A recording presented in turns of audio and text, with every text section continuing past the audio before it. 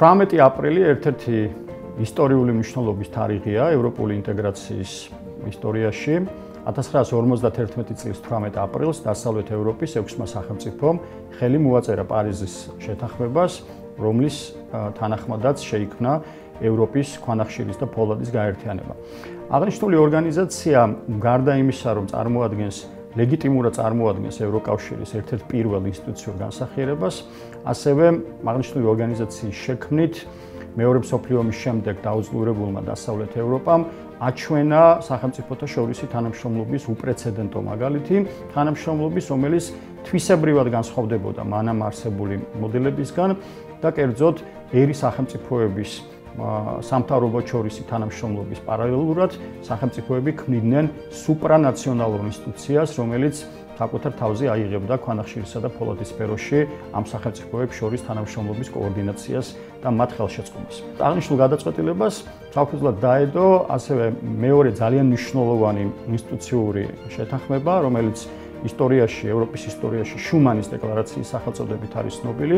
აღნიშნული დეკლარაცია უკავშირდება საფრანგეთის საგარეო საქმეთა მინისტრის რობერტ შუმანის სახელს და ბუნებრივია შუმანის როლი გაწყვილი ევროპული ინტეგრაციის საწყის ეტაპებზე იყო მნიშვნელოვანესი, თუმცა ისტორიკოსთა მნიშვნელოვანი ნაწილი თანხდება, რომ აღნიშნული დეკლარაციის პათოსი, მისი ტექსტი დიდწილად ასევე სხვა ფრანგ საჯარო მოხელეს და მეწარმეს, კერძოდ კი ჟან მონეს სახელს უკავშირდება.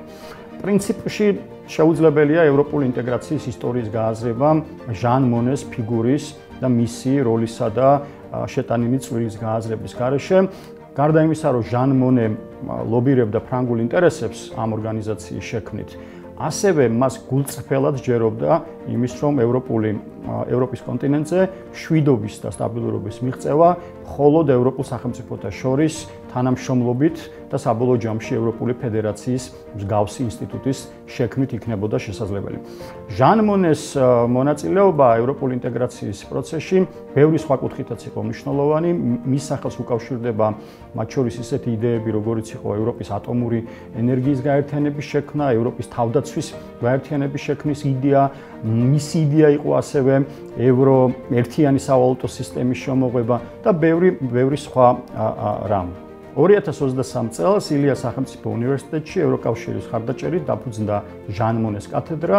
აღნიშნული კათედრის ამოცანა არის ხელი შეუწყოს იმ იდეების და იმ ღირებულებების გავრცელებას, რასაც ჟან მონე და ევროპული ინტეგრაციის დამფუძნებელი მამები ბლობირებდნენ და აღნიშნული მიზნით ჟან მონეს კათედრა უზრუნველყოფს მთელ რიგ აქტივობებს, აქტივობებს, რომელიც გათვლილია როგორც საუნივერსიტეტო სივრცეზე, ასევე საზოგადოების უფრო ფართო სეგმენტზე. ევროპის დღეებთან დაკავშირებით მაისის თვეში ჟან მონეს კათედრა ილიაუნიში გეგმავს ღონისძიებათა სერიას, რომლის კულმინაცია იქნება სტუდენტური კონფერენცია თემატურად ევროკავშირთან და ევროპულ ინტეგრაციასთან დაკავშირებით.